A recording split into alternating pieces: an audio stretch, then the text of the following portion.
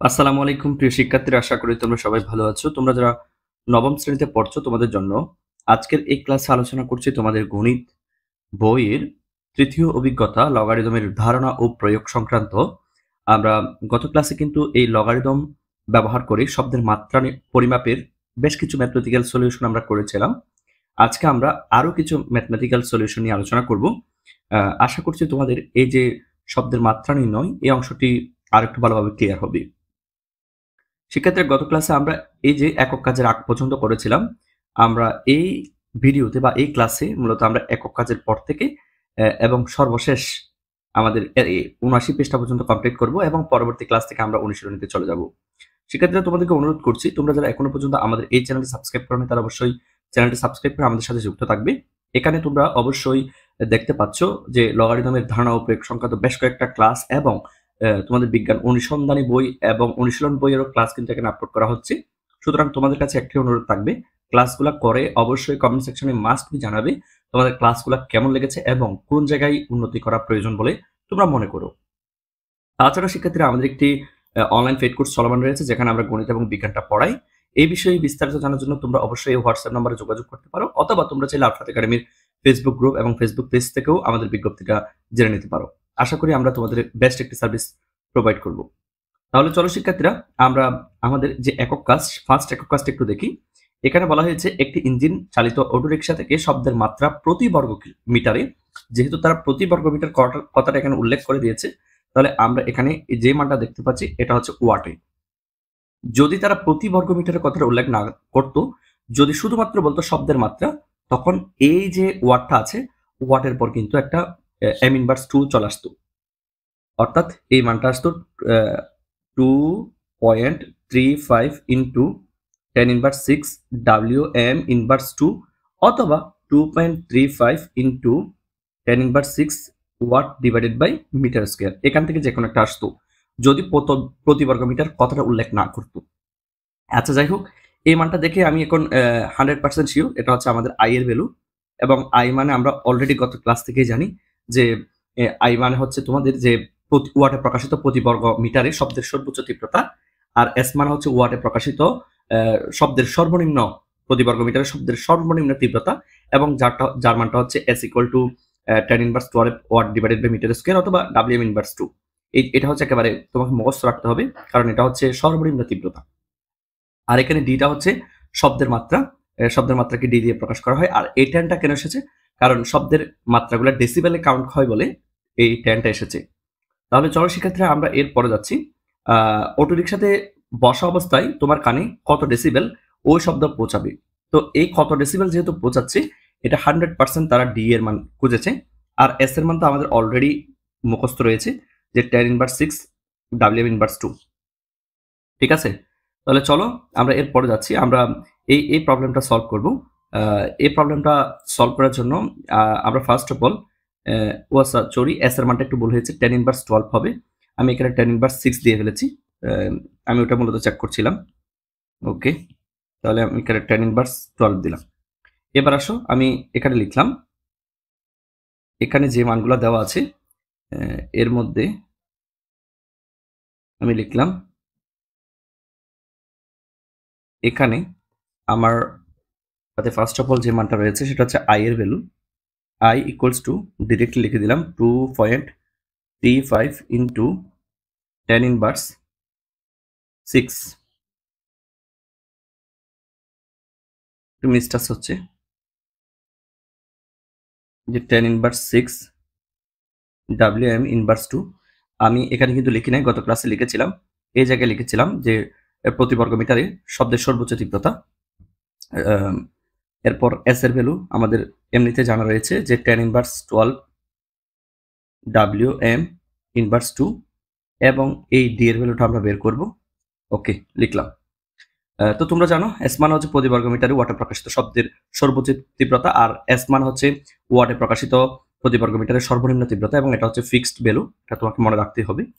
এরপর আমরা জানি বলে সূত্রটা আমি এখন লিখছি।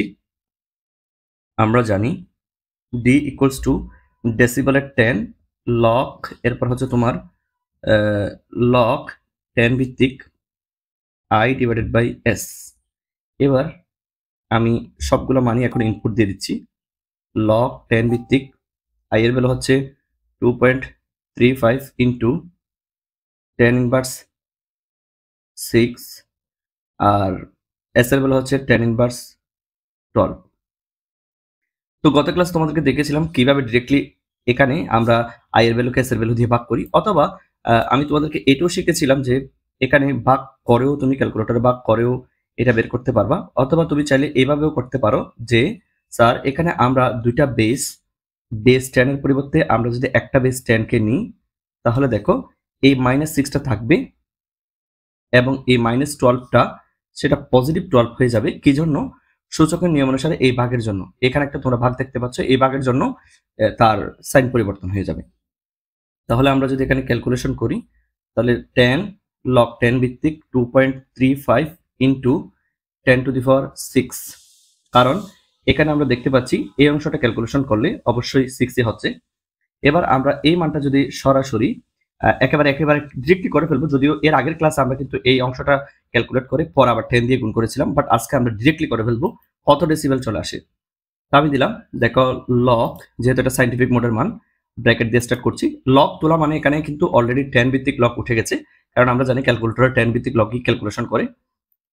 টু পয়েন্ট থ্রি ফাইভ এরপর হচ্ছে গুণ টেন টু দিবার জন্য আমরা এক্সেপশনাল বাট গুণ টেন এই বাটনটা টিপবো। দেন এরপর হচ্ছে সিক্স তো আমি সিক্স দিয়ে ব্র্যাকেট ক্লোজ করে দিলাম। ওকে ডান তাহলে এই মানটা কিন্তু আমার চলে আসলো। শুধুমাত্র log ten two point three five into ten to the power সিক্সের মান আমার চলে এসেছে। টেন ভিত্তিক এই মানটা। এখন আমি এই টেনটাকে গুণ করব।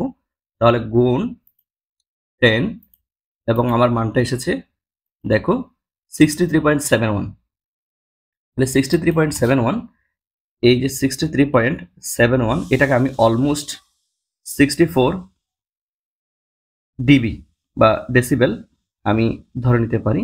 তো এটা হচ্ছে আমার আনসার। অথবা তোমরা চাইলে এই বাংলার ডেসিবেল প্রায় এই জিনিসটা দিতে পারো, নো প্রবলেম, আমি ডিবি দিয়েছি। তো এভাবে আমরা একক কাজটা সলভ করেছি। এবার আসলে আমরা উদাহরণ তিনটা একটু দেখি। যদিও এই উদাহরণ তিনটা কিন্তু অন্যান্য যে ক্যালকুলেশনগুলো আমরা এ পর্যন্ত করেছি, শব্দের মাত্রা নির্ণয়ের সেটার মতো নয়, এটা একটু অন্যরকম। তারপরও আমরা এই প্রবলেমটা সলভ করব। সেক্ষেত্রে তুমি যারা ফেসবুক পেজ থেকে আমাদের এই ক্লাসটি করছ তাদের কাছে একটাই অনুরোধ ফেসবুক পেজটিতে লাইক এবং ফলো দিয়ে বন্ধুদেরকে ইনভাইট করবা। এবং আমাদের ক্লাসগুলো যদি তোমাদের ভালো লেগে থাকে, অবশ্যই নিজেদের টাইম টাইমলাইনে শেয়ার করে দিবা, যাতে প্রয়োজনের মুহূর্তে তোমরা কুইকলি ক্লাসগুলো পেয়ে যাও। আর অবশ্যই আজকের ক্লাসের সমস্ত নোটস তোমরা এই আরফাত একাডেমি ফেসবুক গ্রুপটাতে সাবমিট করবা। সকল লিঙ্ক কিন্তু ভিডিও ডেসক্রিপশন বক্সে পেয়ে যাবা। এবং এখানে আসলে তোমরা দেখতে পাবা, অসংখ্য স্টুডেন্টস তাদের নোটসগুলো শেয়ার করেছে। তোমরা চাইলে নিজেদের প্রবলেমগুলো শেয়ার করতে পারো। যে এইভাবে স্টুডেন্ট জিজ্ঞেস করেছে, কারও কাছে এই প্রবলেমগুলো সলিউশন থাকলে একটু আনস দাও। তো এখানে অনেকে উত্তর দিয়েছে, তো এভাবে তোমরা নিজেদের মতামত শেয়ার করতে পারো, অভিজ্ঞতা শেয়ার করতে পারো, আর আমি তো আছি। সেক্ষেত্রে আমরা এখন এর পরবর্তী ম্যাচে যাচ্ছি, উদাহরণ নাম্বার তিন। একটি গরম পানির পাম্প থেকে পঞ্চাশ ডেসিবেল শব্দ নির্গত হচ্ছে। অন্যদিকে একটি শেষ পাম্প থেকে সিক্সটি টু ডেসিবেল শব্দ নির্গত হচ্ছে। এখানে দেখো, তারা কিন্তু শব্দের মাত্রা দিয়ে দিয়েছে। গরম পানিরটা হচ্ছে টেন সরি ফিফটি আর শেষ পাম্পেরটা হচ্ছে সিক্সটি টু অর্থাৎ দুইটাই ডিয়ার মান কিন্তু দিয়ে দিয়েছে। শেষ পাম্পের শব্দের তীব্রতা গরম পানির শব্দের তীব্রতা থেকে কত গুণ বেশি? অর্থাৎ এখানে তোমাকে কম্পেয়ার করতে বলা হয়েছে, গরম পানির আয়ের সাথে যে সেচ পাম্পের আই এই দুটাই মূলত তোমাকে কম্পেয়ার করতে বলা হয়েছে। তাহলে এই প্রবলেমটা আমরা সলভ করব। তার আগে তোমাদেরকে বলে রাখছি, দেখো, এখানে শব্দের মাত্রা নির্ণয়ের জন্য আমাদের যে সূত্রটা রয়েছে, সেই সূত্রটা এখানে আমরা ইউজ করলাম। এবং এখানে যেহেতু গরম পানির জন্য ডিএর মান হচ্ছে ফিফটি আর শ্বাস পাম্পের জন্য ডিএর মান হবে সিক্সটি টু তো এই হিসেবে মূলত আমরা ক্যালকুলেশনটা করব। এবং আমরা এখানে একটা কাজ করতে পারি যে গরম পানির জন্য আই এটাকে আমরা এইচ ধরতে পারি যেন হিট বুঝছ? হিট মানে মানে গরম পানি, এই জাতীয় বোঝাই হিট ওয়াটার আর আমরা আরেকটা কাজ করতে পারি শেষ পাম্পের জন্য আমরা শব্দের তীব্রতাকে ডাব্লিউ ধরতে পারি, যাতে আমাদের সুবিধা হয়। তাহলে শিক্ষার্থীরা, আমরা গরম পানির জন্য ডি এর ভ্যালু দেখতে পাচ্ছি ফিফটি এবং আমরা আইটাকে এইচ ধরে নিলাম। আমাদের ক্যালকুলেশনের সুবিধার জন্য একই রকম ভাবে এখানে দেখো আমরা শেষ পাম্পের জন্য আইটাকে ডাব্লিউ ধরে নিলাম। তাহলে এখন আমরা ক্যালকুলেশনটা সলভ করছি। দেখো কীভাবে আমরা সলভ করছি সেটা একটু। ফার্স্ট অফ অল আমরা গরম পানিটা বের করব। তাহলে সূত্র দিলাম D equals to ten log ten ভিত্তিক আই ডিভাইডেড বাই এস এখন গরম পানির ক্ষেত্রে আমরা দেখেছি গরম পানির ক্ষেত্রে ডি এর ভ্যালু দেওয়া আছে ফিফটি এবং আমরা আইটাকে মনে মনে ধরে নিয়েছি এইচ তাহলে সেক্ষেত্রে ফিফটি ইকুয়ালস টু সরি টেনটা দিতে ভুলে গেছি। টেন লক টেন ভিত্তিক এস ডিভাইডেড বাই এস আমরা মান সবগুলো ইনপুট দিয়ে দিয়েছি। এখন আমি যদি এই লগারিদমের লগারিদমের যে সমীকরণ, সেটাকে যদি আমি সূচকে কনভার্ট করি, তাহলে দেখো তো, এই লক লগের ভিত্তি টেন এটা সূচকের ভিত্তি হয়ে যাবে। তাহলে এটা হয়ে যাবে তোমার ফার্স্ট অফ অল আমরা আরেকটা কাজ করতে পারি। আমরা প্রথমে এই টেন দিয়ে এই ফিফটিকে টেনকে যদি পক্ষান্তর করি, তাহলে ফিফটিকে ভাগ করলে অবভিয়াসলি সেটা ফাইভ হয়ে যাবে। তাহলে ফিফটি ডিভাইডেড বাই টেন আগে এই কাজটা করে ফেলি, তারপর আমরা লগারিদম থেকে সূচকে কনভার্ট করব। দিয়ে দিলাম। এখন এটাকে ক্যান্সেল করলে তাহলে হচ্ছে ফাইভ অর্থাৎ five equals to log ten S divided by S এবার একটু দেখো। আমরা এখন দেখতে পাচ্ছি, এটা হচ্ছে লগ লগের ভিত্তি টেন এটাকে আমরা সূচকের ভিত্তি টেন ধরে নিলাম। দেন ওই পাশে হচ্ছে এইচ ডিভাইডেড বাই এস এরপর আমরা যদি স্যার এইচ এর মান বের করি, তাহলে এটাকে আর গুণন করলে এস এর সাথে এই টেন টু দিবার ফাইভটা গুণ হবে। তাহলে S into ten to the power five এটা হচ্ছে নাম্বার ওয়ান ইকুয়েশন দেখো, তাদেরটাও আশা করি, এই যে দেখো এস ইকুয়াল টু এই যে এক নাম্বার ইকুয়েশন তারা কিন্তু পেয়ে গেছে। একইভাবে আমরা আরেকটা কাজ করতে পারি যে শেষ পাম্পেরটা সেটাও আমরা বের করে ফেলতে পারি।